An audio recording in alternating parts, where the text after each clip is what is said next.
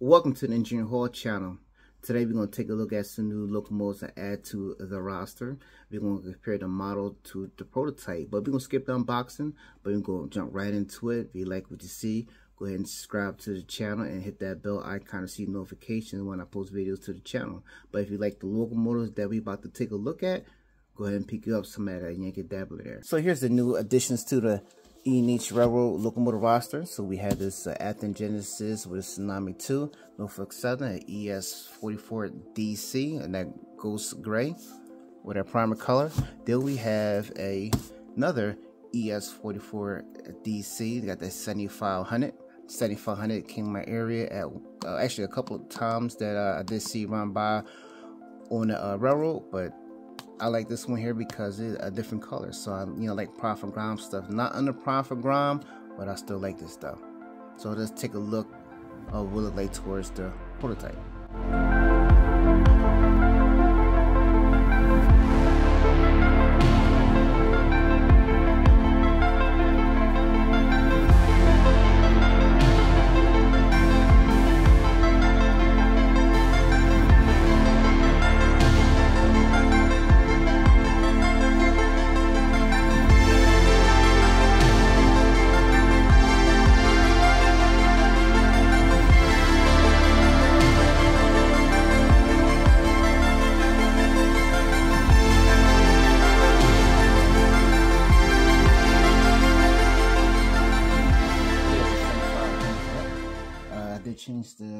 Master control volume with CV128. I'll put it to 240.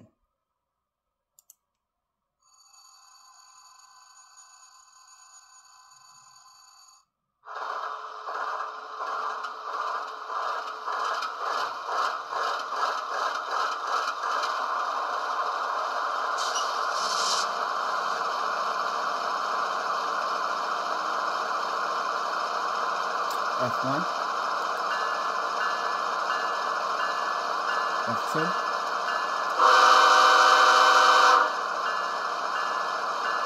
F3, short horn,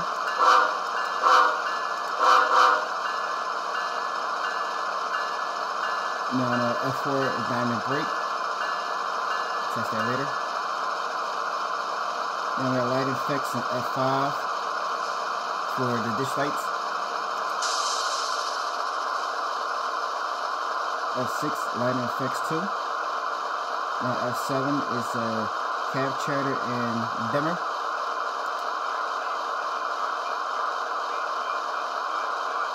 First, F8 is the mute.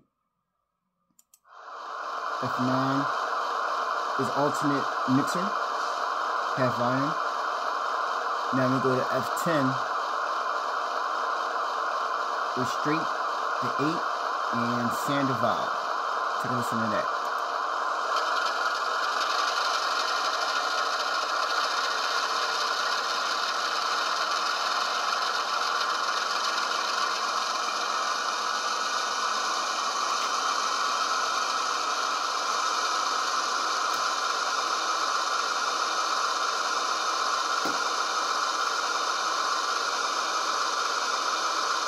Alright, F10 again knock that back down.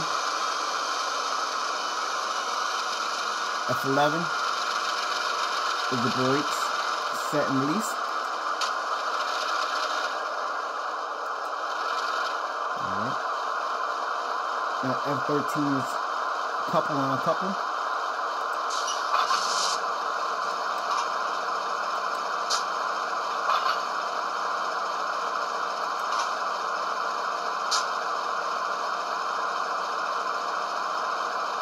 Now F14 is half speed and momentum overdrive. So we skip that. Now we go to F15. There's handbrakes.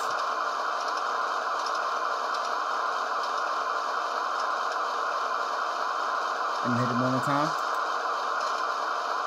Alright. Now uh, F16 is HEP mode on or off. We'll do that later. F-17 is a fuel loading sequence.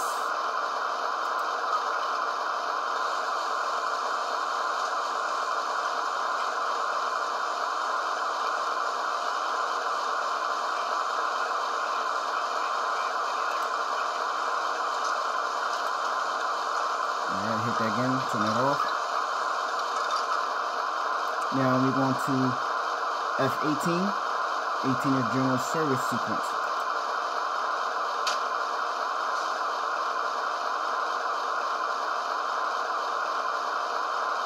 F19 straight to idle. F20 steam generator or aux HEP generator. Don't have that. 21, 22 not used. Here's 23.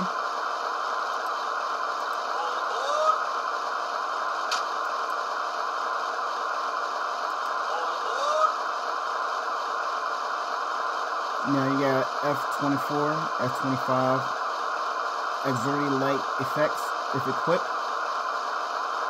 And F26, that is a engine RPM notch up.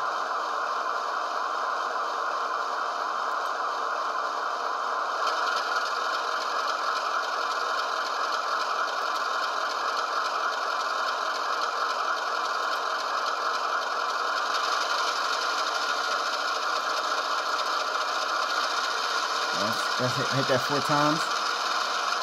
Then I'm gonna hit uh, F27, knock down.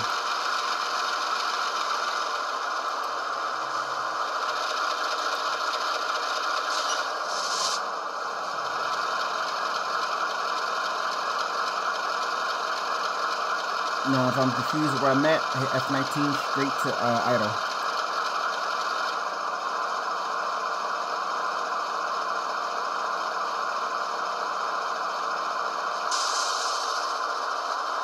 and of course F-Zero is the headlight.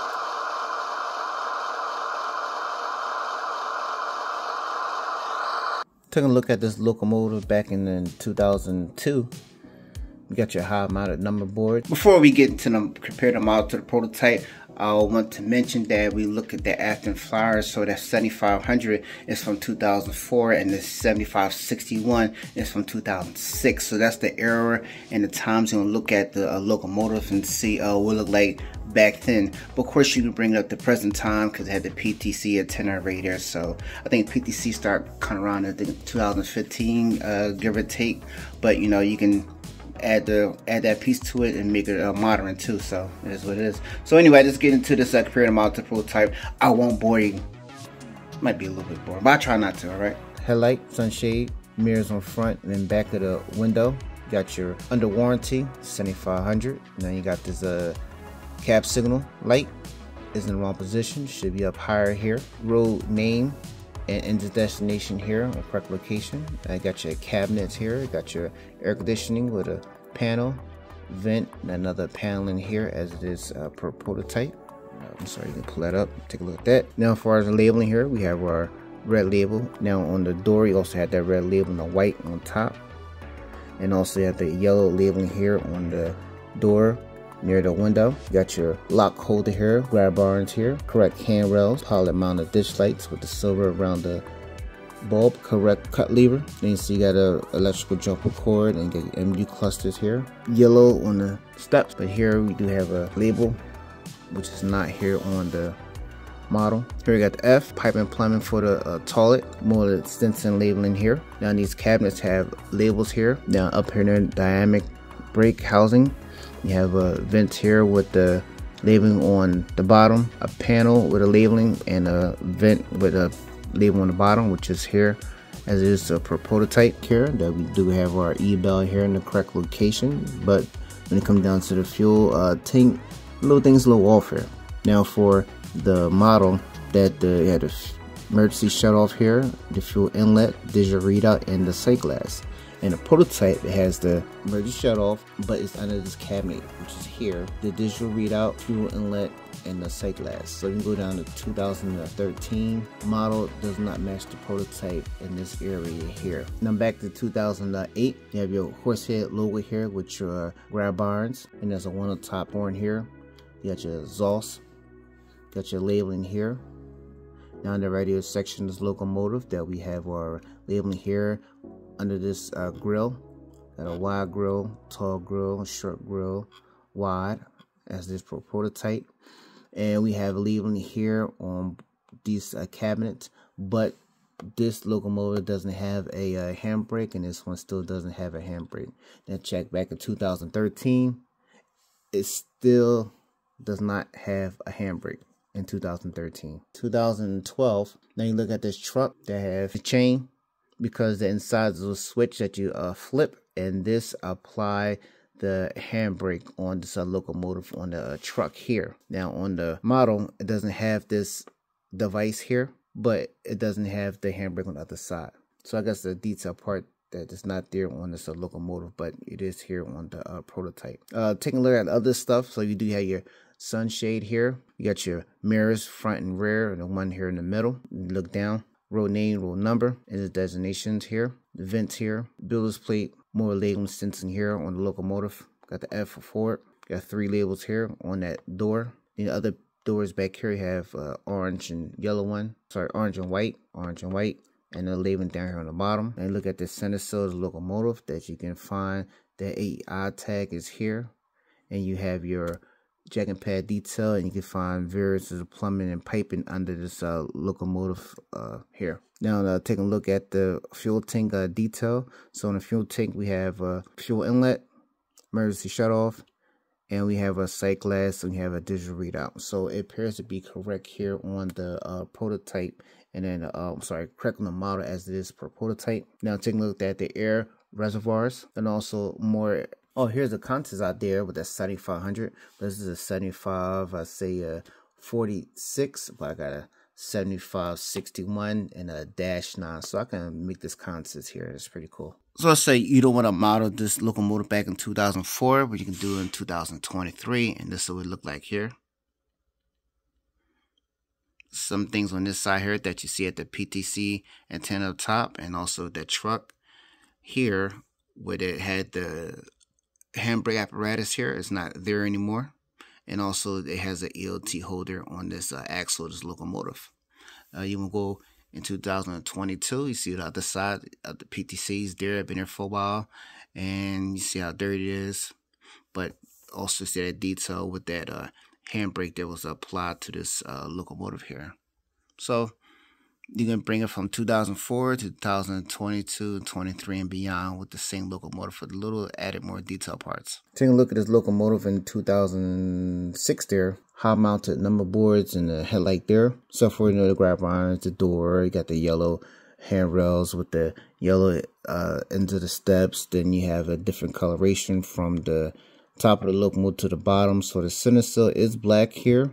Now you do have your red electrical cord, your uh, MU clusters, pod mounted ditch lights with that uh, primer color. And you do have your grab iron here and your ladder grab iron here. Line going through the uh, center cylinder, a locomotive here as per prototype. And uh, under that, it's all black. F there, a label in here now this cab signal light once again is in the wrong uh, position. Should be up uh, higher, uh, closer to the uh, seven. Now it does have the vents here darkened as this uh, pro prototype coming across. As have the doors here. It does not have any labeling here, but you do have your dynamic brake vent here with the little handles. Let's see, come a little closer here on the long hood locomotive. You still have your stenciling here, here next to the grab irons and the other side, the stencil on the model should be here where the door latches is at here. The correct vents here on this locomotive, and this one does have a handbrake with the handbrake uh,